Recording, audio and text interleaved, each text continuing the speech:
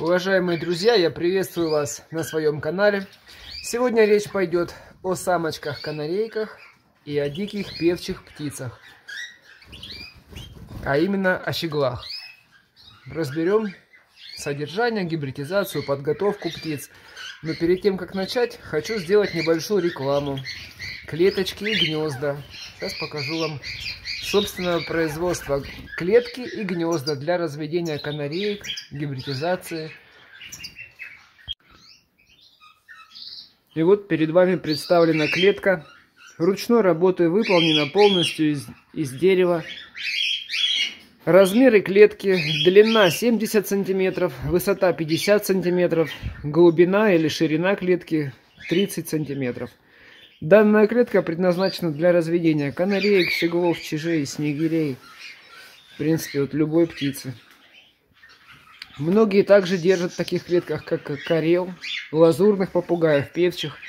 И, в принципе, успешно там все у них размножается. Клетка оборудована поилкой, уже удобно. Ну, все подходит, хорошенько держится. Здесь, значит, есть две дверцы Заказчик попросил две дверцы, сделали две дверцы. Также здесь есть кормушка. Вот она. Кормушку достаете, специальные крючки, а там специальное место. Вы ее ставите. Все, кормушка на месте. На дверку можно будет вешать купалку. Птицы любят очень купаться. Также здесь есть поддон очень легко убирается. Поддон чистится, моется. Обработано все специальным лаком. Птицы это все полезно, все хорошо. Вот такая клеточка. Кому кто заинтересовался, пожалуйста, пишите на WhatsApp. Эта клеточка поедет у нас сегодня в Белгород. Белгороду большой-большой привет. Клетка готова, скоро будет. Так, что касается гнездышек. Тут вот я спрятал за клеточкой.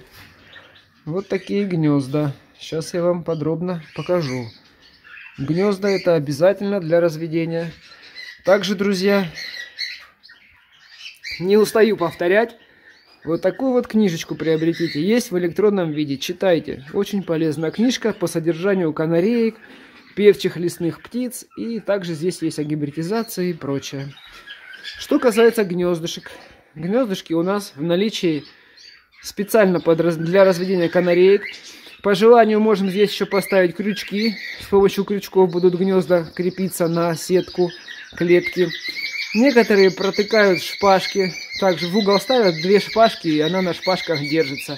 Значит, смотрите, есть гнездо из джута плотная толщина стенки, толщина дна примерно сантиметр, там плюс-минус миллиметр, в общем сантиметр. То есть дно теплое, здесь также канат толстый, дно толстое, яички снизу не промерзают. Плюс там еще самочка сена соломы наложит. Вот такие, значит, гнезда. Розовые, голубые, желтые. Обращайтесь, пишите, высылаем почтой. Все это доходит очень хорошо. Люди довольны. Вот такие вот товары можете приобретать. А теперь идем смотреть канареек и щеглов. Содержание канареек и щеглов в этом году у меня является новшеством для меня, для моего хозяйства. Я ранее никогда не занимался гибридизацией, но если даже занимался, это были как бы тренировочные такие варианты, которые всерьез воспринимать я бы не стал. В этом году учел все свои ошибки, минусы все учел, плюсы тоже рассмотрел. И, в общем, сделал вывод, то, что надо самок, вот у нас самки и щеглы. Но щеглы у меня давно живут, уже где-то примерно месяца три. По поводу, как щеглы тут поселились, я в конце видео, наверное, ну, чуть позже вам расскажу. Значит, зачем я решил совмещать самочек и щеглов? Видите как, щеглы заняли вот ту самую верхнюю позицию, и они там короли. Ну, на то они щеглы, чтобы там щеголять повыше. Самки же у нас желтые, располагаются ниже. Ну, они еще, еще ниже сходят, кормежка у них происходит на полу. Там у них есть разнотравие, семена. Также у них есть сухая трава, я запасся сухой травой с семенами в сезон осени. И вот я им бросаю, они очень с удовольствием выбирают там всякие разные зернышки. Так, значит, по поводу содержания общего. Самки, они как бы привыкают к щеглам и в поровку идут лучше. Потому как многими, кто занимается гибридизацией, замечено то, что если самцов щеглов и самочек канареек держать вместе, то удачно и более успешно идет поровка, гибридизация. Вот, друзья, кстати, у меня подарочный кеннер. Видите, какой он уже стал красивый. Был немножко какой-то непонятный, но тут он отошел, набрался сил. Немножко пел даже, я слышал.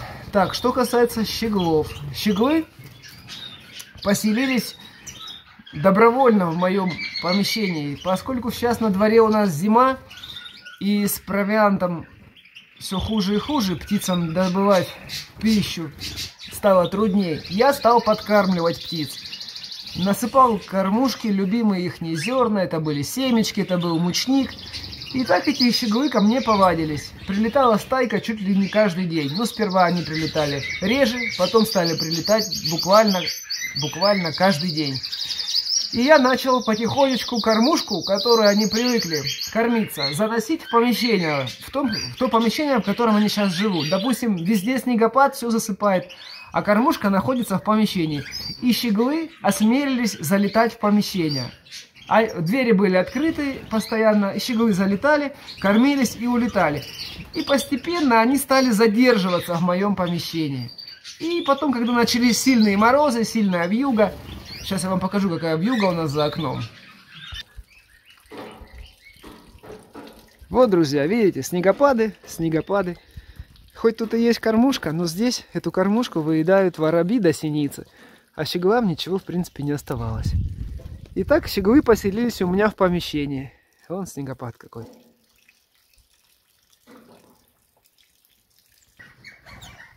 Ну вот, представьте себе, кто бы мог подумать. Щеглы освоились, остались в этом помещении.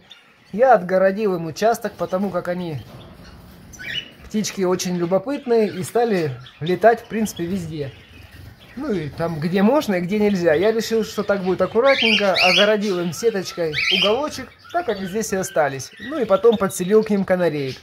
В общем, зажили они счастливо, и все у них хорошо. Я надеюсь, весной 2023 года гибридизация пройдет успешно.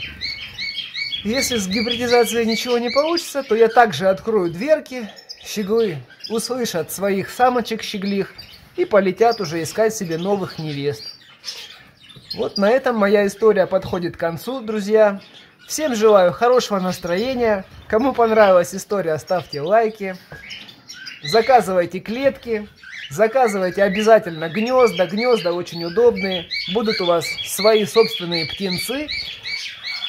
Счастья будет у вас и добро. Всем пока. До скорой встречи на моем канале.